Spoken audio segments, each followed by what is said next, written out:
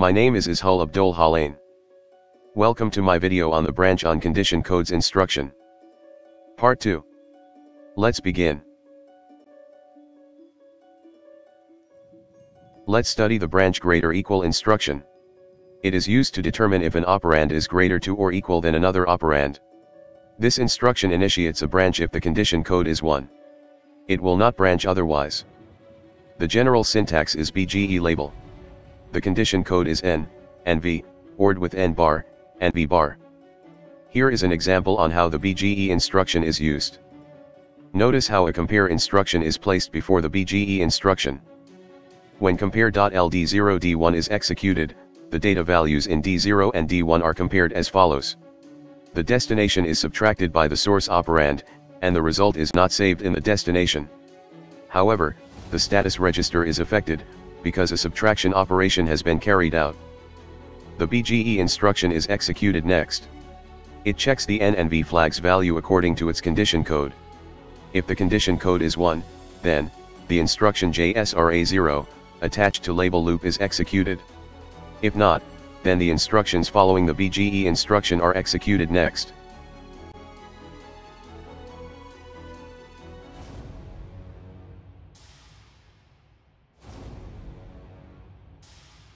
Let's check out a program called data greater than 8. Its purpose is to scan through memory one byte at a time, and count the number of times it encounters data with value that is greater than or equal to 8. If the value it encounters is less than 8, the program will resume scanning. When it encounters a value that is greater or equal to 8, a counter is incremented by 1. Then, it'll resume to scan for new data, and the process repeats. This is the program's flow chart. The first box is to initialize A0 to 2000. A0 is going to be our address pointer. Next, a byte of data from memory is read into register D0 using the move instruction. This instruction is attached to label loop. Then, the data in D0 is compared to 8, using a compare instruction, this instruction will affect the status register flags. The next instruction is BGE higher. When executed, it will use the status register to check its condition code that is given by this boolean expression, if it is 0, then the next instruction, BRA loop, is executed. The program branches back to label loop. However, if the condition code value is 1, then the program flow branches to label higher. When this occurs, register D1 is incremented by 1 using an add instruction. D1 will be a counter that counts the number of times that the data checked is greater or equal to 8. Then, it moves to the BRA loop instruction. Note that the program never ends because how the loops are designed. This is called an infinite loop. Here is the assembly language program from our flowchart.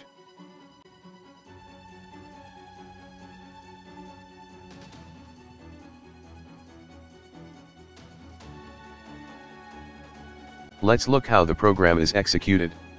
At the top, we have memory. It is showing 16 bytes of data starting at address 2000. Our program will start scanning from here. Next, we have the addresses of the instructions. Note that we have label start, which points to address 1028, which is the address of the first instruction. Next, we have a label loop, attached to the move.ba0, d0 instruction, at address 102e. We have one more label, higher, pointing to address 103A that holds the add instruction. Here, we have our program counter, to track our program execution. Then, we have address register A0, which is our address pointer. Next, we have data register D0, that acts as our data container. Here, we will determine whether data from memory is larger or equal to 8. Beneath D0, we have data register D1. It is used as our counter it will be incremented by 1 each time the data tested in D0 is larger or equal to 8. To make things simple, I am assuming that D1 is initially reset to 0. Finally, we have the status register, or also known as the condition code register. Upon execution, the instruction at address 1028 is pointed to by the program counter. The program counter is then updated to point at the next instruction at address 102e. Then, the instruction at 1028 is executed. 2000 is loaded into register A0. The status register is updated to 00000 because of the result of the move instruction. The program counter is now pointing to address 102E. Before executing the instruction, the program counter is updated to point to the next instruction's address, 1030. Next, the instruction move.ba0 plus comma d0 is executed. Since a0 is pointing to address 2000, the corresponding data, which has a value of 1, is copied into register D0. The status register is updated to 00000 because of the result of the move command. Then, A0 is incremented by 1. The program counter is now pointing at address 1030. Before executing the instruction, the program counter is updated to point to the next instruction's address. Next, the compare instruction to compare the immediate value 8 with the contents of D0 is executed, the 68K subtracts 1 from 8 resulting in negative 7. This causes the status register to be updated to 01001 because the result is a negative number, and, a borrow into the MSB was required to perform the subtract operation. The program counter is now pointing to address 1034, and is updated to point to the next instruction's address. Once this is done, the BGE higher instruction is executed, this instruction causes the condition codes for BGE to be evaluated. The condition codes are N and V, ORed with N bar, and bar, the result is 0. Thus, a branch to label higher is not done. Instead, the next instruction at address 1038 will be executed. Before executing the BRA loop instruction at address 1038, the program counter is updated to the next address, 103A. Once this is done, the branch always instruction is executed. This causes the program counter to be loaded with loop's value, 102e. Thus, we will branch back to loop. Note that the data from memory we tested in the cycle was less than 8. Thus, register D1 was not incremented, indicating that the data checked in the cycle was less than 8. I hope you are following along. Let's continue.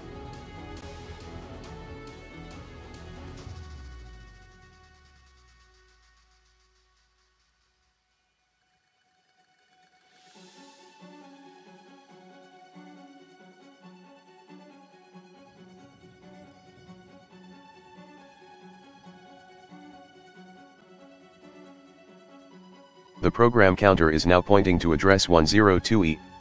Before executing the instruction, the program counter is updated to point to the next instruction's address. Then, the instruction move.ba0 plus comma d0 is executed. Since a0 is pointing to address 2001, the corresponding data, which has a value of 8, is copied into register D0. The status register is updated to 00000.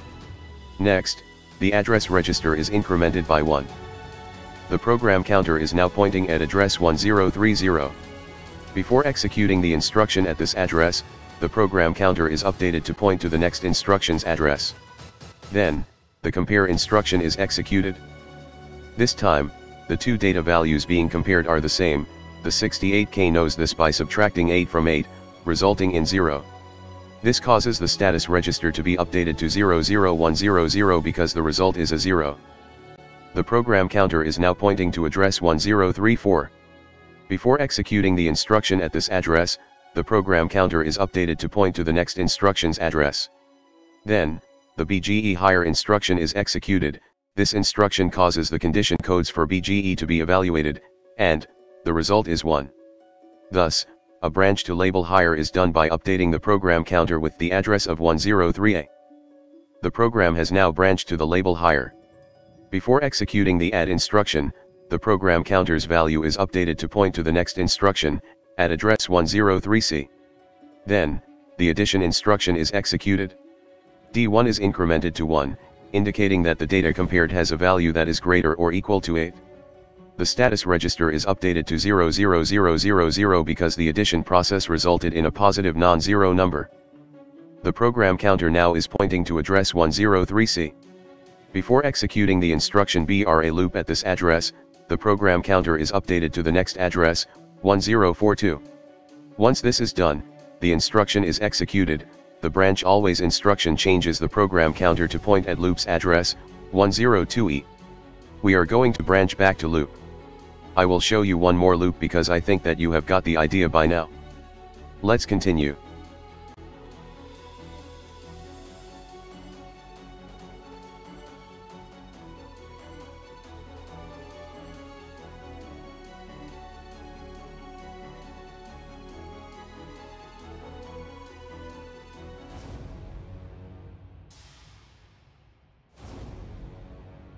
The program counter is now pointing to address 102E. Before executing the instruction at this address, the program counter is updated to the next instruction's address. Next, the corresponding instruction is executed. The data at address 2002, which has a value of 9, is copied into register D0. The status register is updated to 00000, because, the data value moved is a positive non-zero number. Next, the address register is incremented by 1. The program counter is now pointing at address 1030. Before executing the instruction, the program counter is updated to point to the next instruction's address. Next, the compare instruction is executed. This time, we see that 9 is clearly higher than 8. The 68K knows this by subtracting 8 from 9, resulting in 1. This causes the status register to be updated to 00000 because the result is a non-zero positive number.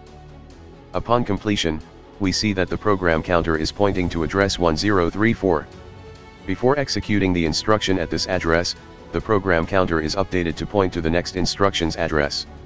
Once this is done, the BGE higher instruction is executed, this instruction causes the condition codes for BGE to be evaluated. This time the result is also 1. Thus, a branch to label higher is done by updating the program counter with the address of label higher, 103A. The program counter is now pointing to 103A. Before it is executed, the program counter's value is updated to point to the next instruction. Then only the instruction at 103A is executed. D1 is incremented by 1.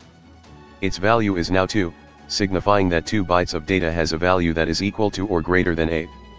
The status register is updated to 00000 because the addition process resulted in a positive non-zero number. The program counter now is pointing to address 103C. Before executing the instruction BRA loop at address 103C, the program counter is updated to the next address 1042.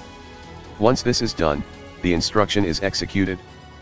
The program will continue repeating this process of reading data from memory, comparing it with the value 8, and branching to increment a counter if the data is greater or equal to 8. We have seen how data with value equal or greater than 8 can be detected using a compare instruction followed by a BGE instruction. So, I think you are clear now on how the BGE and BRA instructions work. I hope you also noticed how the fetch execute cycle is carried out using the program counter, and how the program counter is changed before executing an instruction it is pointing to, and how it changes when a BCC instruction is executed.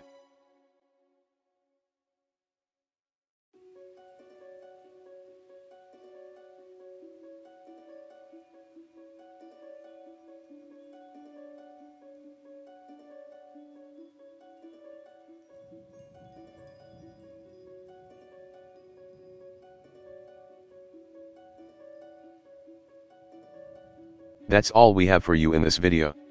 Thank you for your attention, hope to see you in future videos, have a wonderful day.